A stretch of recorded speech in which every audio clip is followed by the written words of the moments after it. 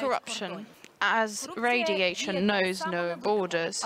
Corruption is equally invisibly, however it erodes society, killing us on a daily basis.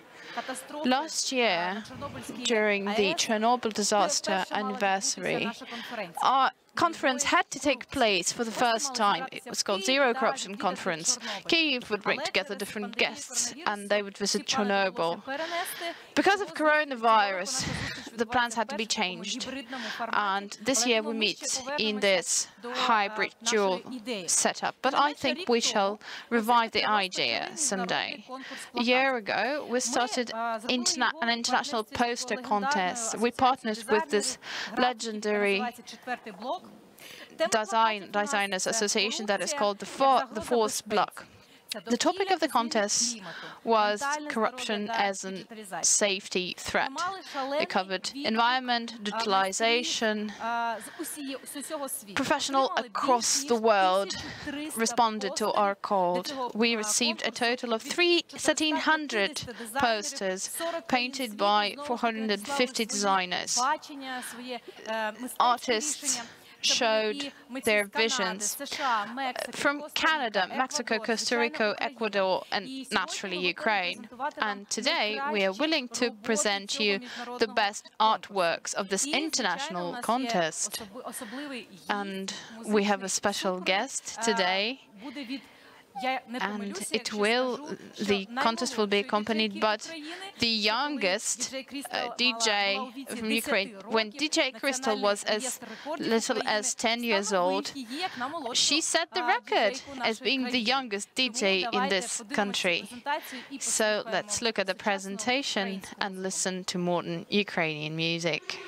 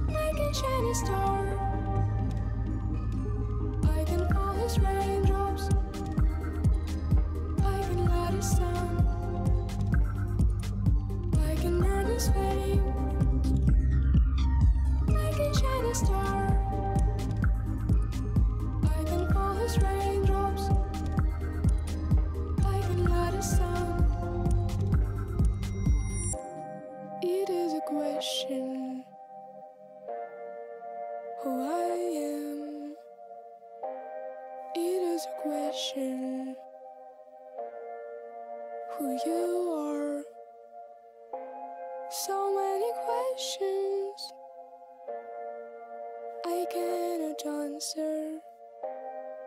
But know one thing, one thing. I can burn his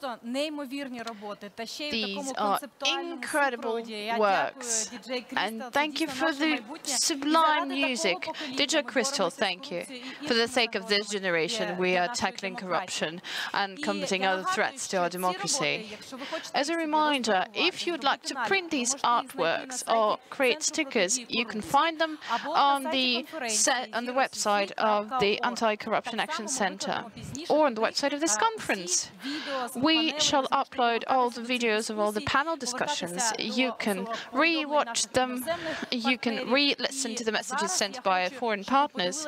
And now I would like us to see another pre-recorded message from U.S. Senator Ben Cardin.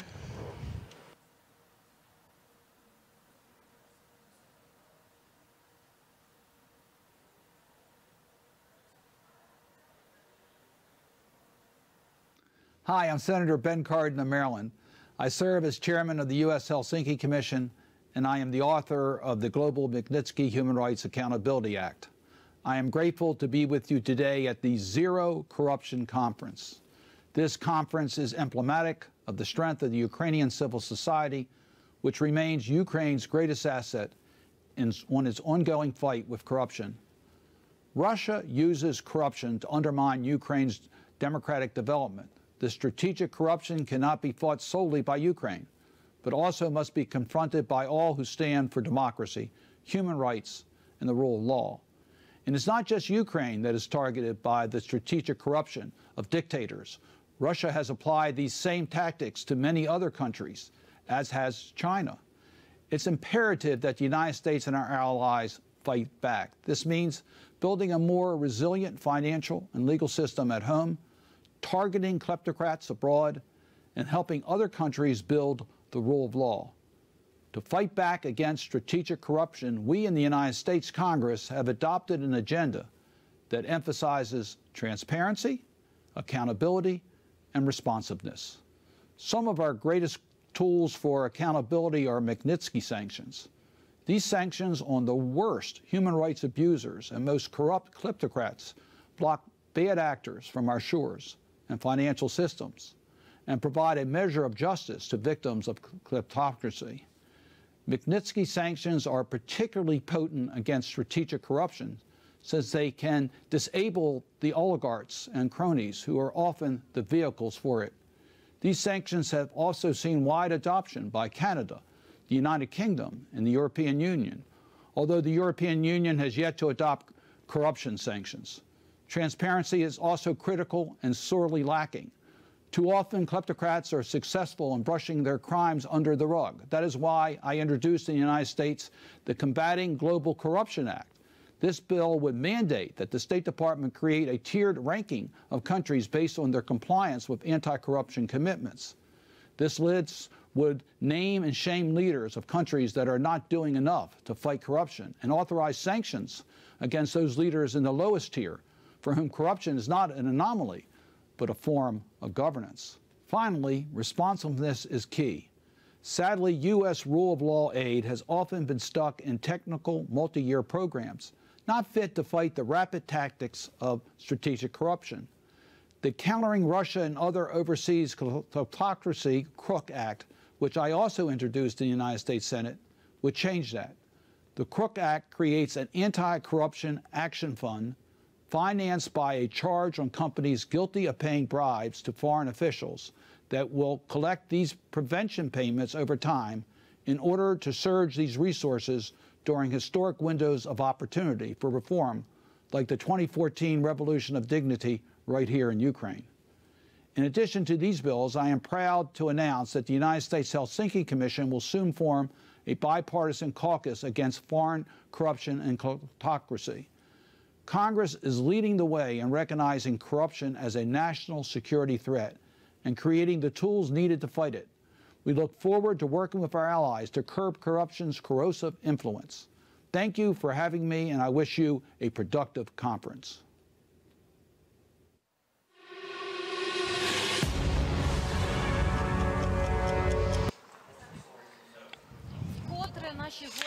Once again, our guests reiterate that corruption is the key threat to national security, not just of the United States, but also of Ukraine and other countries.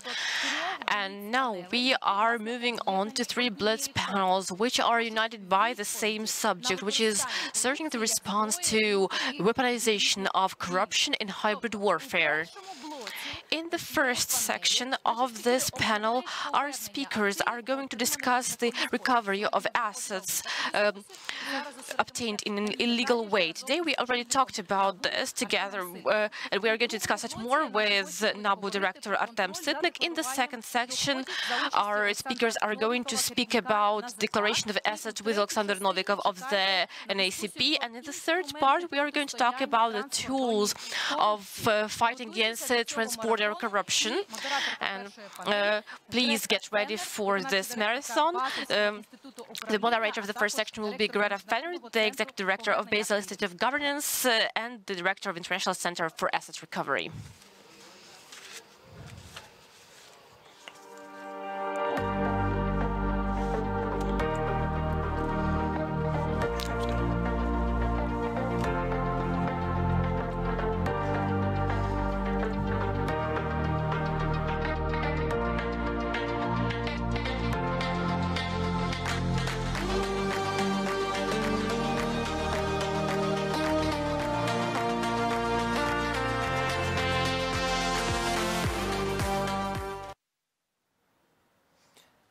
Good afternoon, ladies and gentlemen, uh, dear friends. Uh, it's a great pleasure to be moderating this first Blitz panel in a marathon. We are going to talk about investigating transborder corruption and recovering stolen assets. And I have a wonderful panel with me. To my left, Artem Sytnyk, who truly needs absolutely no introductions in Ukraine and more widely in the world. He's, of course, the director of the National Anti-Corruption Bureau in uh, Ukraine. Also with me, but on uh, the screen behind me really, is the one and only Mary Butler, who is a, a career anti-corruption prosecutor, also someone very well known and a good friend to Ukraine here. She heads the Department of Justice's Kleptocracy Anti-Asset uh, Recovery Initiative, and as I said, has been closely involved in supporting Ukraine for many years. I believe also on the screen behind me, I have Ambassador uh, Roger Dubach, uh, also an old friend of mine, career diplomat in the Swiss Federal Department of Foreign Affairs, where he is currently the Deputy Director of the Directorate for Public International Law and heads something that's rather unique in Switzerland, namely the Asset Recovery Task Force, which is hosted in the Federal Department for Foreign Affairs. Blitz talk means quick answers. Artem, the first one to you.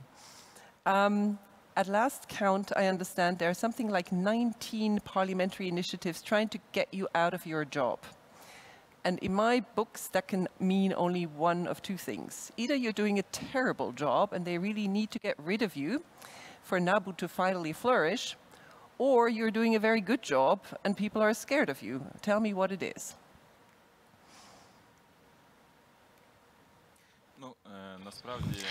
Well, actually, the assessment of our work, if we speak about legislative requirements uh, and whether we work effectively or not, should be um, answered by the audit, which is uh, carried out every year as prescribed by the law. But uh, for some reason, the government always um, refuses to use this option for oversight of the Bureau.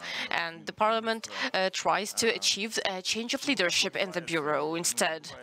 Why does this happen? It happens because uh, even though uh, we have uh, had a long time since the revolution of dignity and the establishment of the anti-corruption infrastructure, political elites are not ready uh, for the fact that there is an anti-corruption system in the country which uh, oversees you regardless of where you work and what position you hold. If we speak briefly about the results that were achieved uh, together by uh, prosecutors, detectives and judges. In the short time that we exist, uh, we have had six ministers and their deputies brought to uh, justice, 11 heads of executive agencies, over 60 judges, and I think this creates a major problem for um, the authorities, and that leads to attempts to block our work. And this um, is not only about the Anti-Corruption Bureau, but the anti-corruption system in general instead. Uh, on mm, Friday, we had the 10th real conviction, uh, and this uh, is a big problem for everyone. So then we get the situation when we are trying to be stopped all the time. Thank you, Artem. So domestically, clearly, um, the situation is already very difficult, but many of the cases that NABU is investigating are international in nature, which doesn't make life much easier, of course. So um, could you tell us a little bit about your experience working with other countries? Because the topic of this session is international investigation. Um, are the other countries helping you? Are, are the other countries helping NABU? Are they helping Ukraine? And one of, one of, what are some of the uh, what are some of the major challenges that you're facing when you're tracing assets internationally?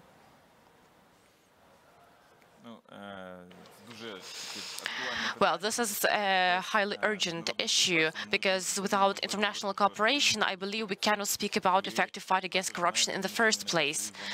We have worked together for uh, quite a while, for multiple years, and you know that uh, we work uh, internationally to uh, disrupt corruption schemes. You speak about uh, the misappropriation of public funds. Mm uh, and laundering fights outside the country. We do have issues here because those uh, mm, uh, people who obtain assets illegally, they mm, don't trust their country and they want those assets to be stored abroad. So in order to carry out the complete investigation, we often work with our international partners. We calculated in the six years of our work, we sent uh, requests on assist international assistance to 75 countries across the globe. So you can imagine the scope of corruption in Ukraine and number of uh, countries which were somehow involved in the flow of corrupt assets. We sent most of our requests to Germany, to the UK, to the United States, to Latvia, and some other countries as well. Thankfully, from the uh, very beginning, the NABU obtained the right of independent transnational cooperation with our partners because now we see a certain resistance from other law enforcement agencies when it comes to international cooperation. That is why it's very important, essential that we have the right to approach our international partners independently, and we do use this right. We constantly develop a memorandum on uh, cooperation and if we speak about examples of such cooperation, uh, recently we had um, the first anti-corruption operation in the history of Ukraine together with our Polish colleagues, when an international investigatory group was established, which uh, investigated the former head of Ukravtodor. Currently, uh, this uh, person is being investigated in Poland, and we continue our work. We believe this uh, experience to be successful just as was our experience with uh, cooperation with our Swiss colleagues concerning investigation of a former MP. And it was a very positive cooperation as assessed by our detectives. These are just some examples that uh, I believe mm, are definitely not exhaustive and we constantly develop our cooperation further. Well, thank you, Artem, and congratulations. I mean, what you just described is, is clearly a very proactive stance by NABU, including what you describe as a joint investigation with uh, the Polish colleagues. And one point that I would like to stress, which is globally important, is the ability of a national anti-corruption bureau to act independently when it comes to mutual legal assistance and international cooperation in order not to add a potential layer of undue influence in the work of what an agency needs to be able to do independently. You mentioned a cooperation with, uh, with Switzerland, and you mentioned it very positively. So let me turn to, to our colleague, Ambassador Dubach. Roger, um, we know, and it's been in the media, and uh, Artem has referred to it, there are assets that are suspected to have been stolen from Ukraine on the previous regimes and that have been found in Switzerland. Can you tell us a little bit how, you know, the various ways in which Switzerland can assist a country like Ukraine, both in terms of the legal framework, but also maybe some of the good practices that Switzerland has, has developed, which a country like Ukraine can make use of and has possibly done so. Thank you very much for, for the question, uh, Gretta, and many thanks also for the invitation today.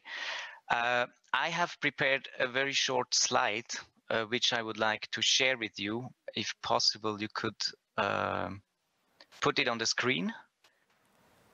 I don't. Um, where I try to explain very shortly the Swiss legal framework, and with the example of uh, of, of the, the work we done we have done with Ukraine.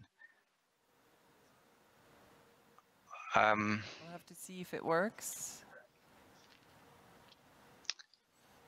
Otherwise, I can try to share my screen if this if you prefer that. Okay.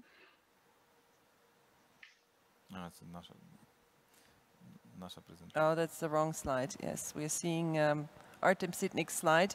Do we have Ambassador Dubach's slide? Otherwise, Roger, you might just have to speak to us about it.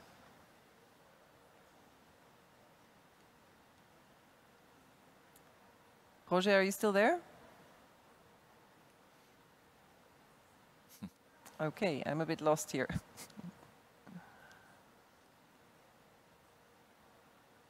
um, Roger, can you hear us still?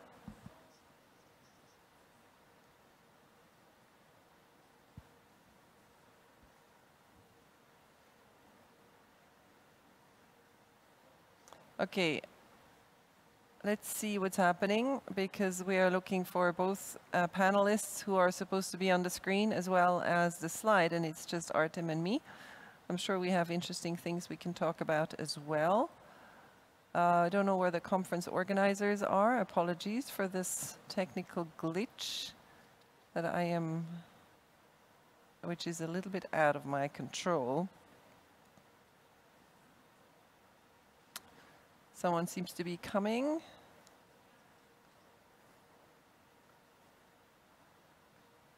Is it just us? I will speak to Mr. Sytnyk now. Well, Artem, let's be spontaneous in our conversation. I think uh, one of the questions I was going to ask you more towards the end of the conversation, but let's take it now, is um, if you had this one wish or what, what more, I mean, you've been speaking very positively about your experience internationally, but what more could international partners do uh, to assist Ukraine? Is there, is there anything that you keep talking about or you keep thinking this would be really helpful, maybe in the global legal framework or practically in terms of collaboration?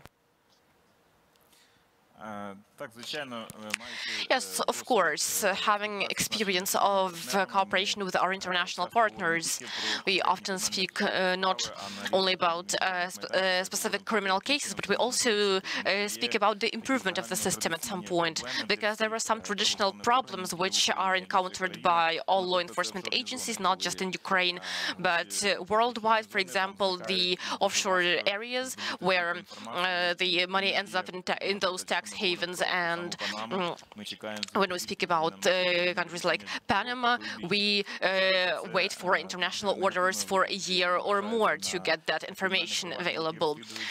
Of course, that negatively affects the criminal proceedings that happen, and I think that um, the system of international cooperation was formed quite long ago, which is the problem. Those people who use corruption schemes have uh, completely different tools. They can use the internet, they use modern technologies, and that's what they use to impl uh, implement those corruption schemes uh, in multiple countries at once. But then we use those old mechanisms and we have to wait for responses for a long time. So I think it's an urgent issue to optimize international cooperation to make it more rapid, more efficient. I can compare, you know, for instance, the cooperation uh, in the format of uh, police information exchange. This is much more efficient because it happens rapidly and we have the result pretty much immediately. But if we speak about uh, judicial uh, persecution, we need to maintain a very strict procedure, which uh, takes quite a lot of time. Oh, and we face the pressure to recover assets. Progress. So I think that um, um, we do have over 120 million dollars, 8 million euros, uh, millions of Swiss francs uh, uh, seized abroad, so we could recover all those assets to Ukraine. Thank you, Artem, and I think I couldn't agree more with you that it's very frustrating how criminals are fast in cooperating internationally and law enforcement is extremely slow. So there's there's a real call for the international community to find a way to modernize uh, formal judicial cooperation. And I'm sure Mary would, would agree that sometimes it's a little bit um, frustratingly slow. Mary, you're back with us, I believe. You can hear us, I trust. Um, welcome back, Mary. I, I, I will. Thank you. I will move on to you, if I may, since we've got you back. It was a little bit of a, of a technological glitch here. But um, you're a career and a career prosecutor specialized in anti-corruption, and I may say one of the top-notch ones in the United States. Tell us what is so difficult investigating international corruption? Why does it take so long? What's so hard about it? And, and also in your experience with Ukraine, what do you think Ukraine has been doing really well in these last few years, trying to chase Yanukovych and other assets? And where maybe you think there could be more done in Ukraine from your experience and seeing it from the outside? Thanks so much, uh, Gretta, and I'm, I apologize for the technological uh, challenge here. Um, the I guess the most, um, uh, as you say, I oversee a, a uh, asset recovery program in the United States. We're focused on trying to recover assets linked to foreign corruption that affect the U.S. financial system. Uh, we have uh, tried to do um, a fair amount of work in Ukraine, and we um, are, I think, having um, some success there. Um, the main tool that we use is um, money laundering uh, violations coupled with non-conviction based forfeiture. And the beauty of non-conviction based forfeiture is we can use this tool um, whether or not uh, the people are in the United States, the true owners of the assets, whether or not uh, they're dead, whether or not they've transferred the assets to nominees or relatives. So, so it's potentially a very powerful tool. The problem is um, that our government, and like most governments in the world, requires that we establish that there's a financial transaction that affects the United States and a link to an underlying crime, the criminal origin of the asset. And that's the challenge. The identifying the financial transaction is usually relatively simple. It gets easier with beneficial ownership disclosure, but it's relatively simple. The challenge is in obtaining sufficient evidence of the misappropriation, the bribery, the embezzlement, or the bank fraud. And here is the real challenge. The evidence of these crimes is usually in the country where the crime occurred. And these are crimes committed in secret by people who want to keep this activity secret. and these kinds of investigations are difficult in any circumstances, but especially in a situation where there is very little political will uh, to attempt to address it. Now, despite that, um, we have worked with some very good partners who have very professionally conducted these investigations in their own country, while we, in parallel, uh, conduct them in ours. So, so this is a real, um, the real hard part this is what takes the most time and the most dedication. And how about your experience in Ukraine? How would you describe uh, what you've seen in terms of, you know, investigative practice or, or, or also how they engage internationally with partners like the United States? Is there things where you feel like, okay, you you've made lots of progress here, but we need more of this or of that in Ukraine? Um, in general, I would say that um, our experience with these institutions, which have been set up since the Dignity Revolution, the NABU, the SOP, the um, high anti-corruption courts, um, from our perspective, are doing an amazing job in a very short period of time. And our experience in working with NABU has shown that there are some very talented, very uh, smart dedicated professionals who seem to be doing their work at a very high level. And so this is all very, very promising. And obviously, we hope will be contributing uh, to our ultimate success.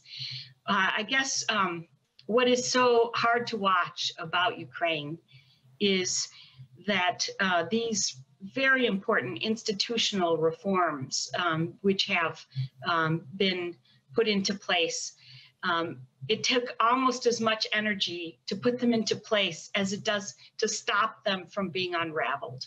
And this um, is painful, I'm sure, for these courageous people who, who helped to build the institutions. But we'll hang in there um, and do what we can uh, to support Ukraine and to try to recover uh, some more significant assets. Mary, I'm going to be a bit spontaneous here because we've lost Roger. He's still not back with us as far as I can tell. So I'll just, uh, no, we do have him back. Wonderful. So Mary, I'll, I'm back. Uh, I'll keep yeah. my surprise question. Roger, I'm sorry, it seems that your slide's not coming through. Would you mind just talking us through uh, what you were going to say about how Switzerland can assist other countries uh, in recovering stolen assets? Of course, and I am sorry for the deconnection, but uh, I don't know what happened. Um, yes, so just very briefly. Oh, there's the slide now. That's perfect. Um, I would just very briefly uh, explain the Swiss legal framework and this with the example of Ukraine. So um, in 22nd February 2014, the Ukrainian parliament voted to impeach President Yanukovych. And just four days later, the Swiss government decided to freeze all assets in Switzerland belonging to former President Yanukovych and his entourage. And so this uh, freeze was thanks to uh, what we call a PEP Act, which allows to very quickly freeze assets if there's a regime change or, or other um, changes. And this gives the basis for a judicial cooperation. And you see that below uh, the, the box of asset, the assets frozen. And so perhaps uh, once again, this PEP Act allows to freeze very quickly and gives finally time for a new government and new authorities to engage in a judicial cooperation. And this happened between Switzerland and Ukraine. Uh, there has been this cooperation between 2014 and 2020. And Switzerland was able to transmit to Ukraine evidence on the assets located in Switzerland. Um, if you go one box further, then you see the judgment in Ukraine. So uh, to restitute finally, it's absolutely crucial that there will be final judgments uh, rendered by the Ukrainian um, judiciary uh, in order to confiscate the assets and then to restitute them. And there is a time limit. Um, we are able to freeze assets for 10 years. You see that in the first box. And so it means that we should be able to restitute until 2024, which gives us another three years. And we really hope that we will be able um, to restitute those assets within this time limit. One word about the, the practice. Um,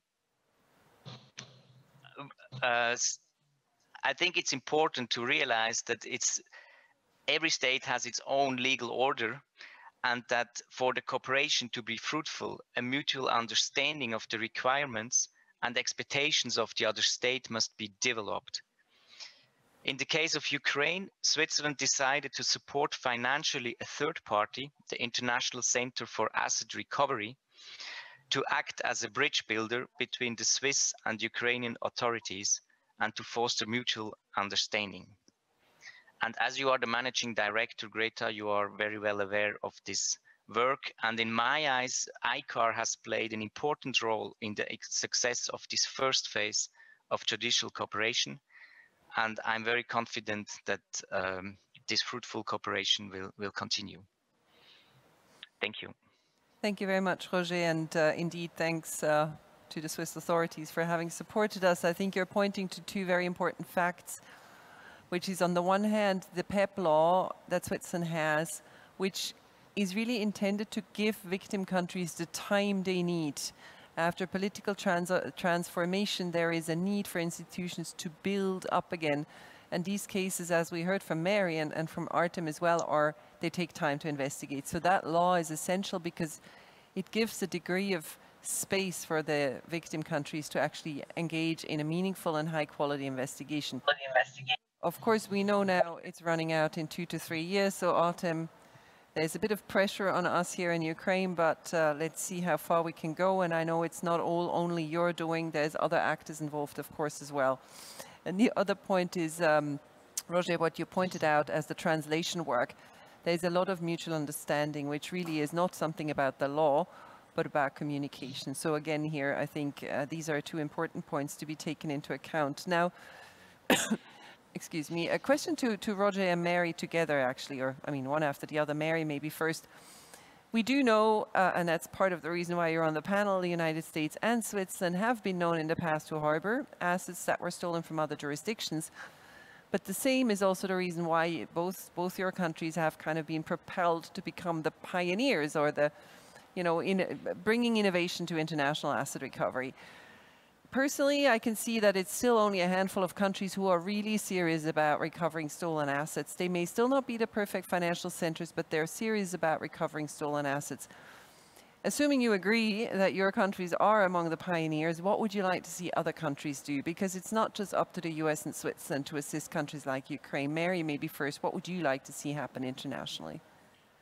Thanks so much, Gretta. So I would say two things. I mean, the first is that we need to use the momentum of the international focus, especially on corruption this year, here at this conference, at the G7, UNGASS, the FATF plenary, the OECD Anti-Bribery Convention plenaries, the UNCAC Conference of State Parties, everywhere we can, to join with international partners to fight against complacency in uh, establishing safe havens for illicit money as the Swiss and the and the U.S. and the U.K. make uh, greater and greater commitments to try to prevent their own economies from being safe havens for corruption proceeds, we see that new havens, new safe havens, are starting to develop, and we really um, need to fight uh, the possibility that these new new countries um, cre- create the conditions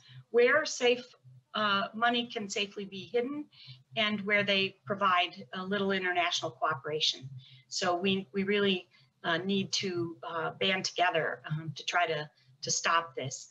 And, and second, I would say that um, it, echoing my earlier comments, we, we really need jurisdictions where the corruption occurred to work as much as possible to preserve evidence, to gather evidence in the most professional and lawful ways, because it's with that evidence that your foreign partners, where there is some jurisdiction, some activity, can actually do something meaningful to help you recover those assets. Thanks, Gretta. Thank you, Mary. And um, I can only echo very much that we need to use this momentum at the moment and be sincere in, in, in also addressing the issues with those countries where the criminals are now diversifying their investments. They're sending them to other jurisdictions where there's not the same legal framework and not the same will. Uh, Roger, uh, what do you say to what you heard from Miriam? What are some of the thoughts that you have in terms of where the international community needs to come together more? Many thanks. I would like to say two things uh, as well. Uh, first, practice, practice, practice. Um, I think uh, we should start practicing the asset recovery.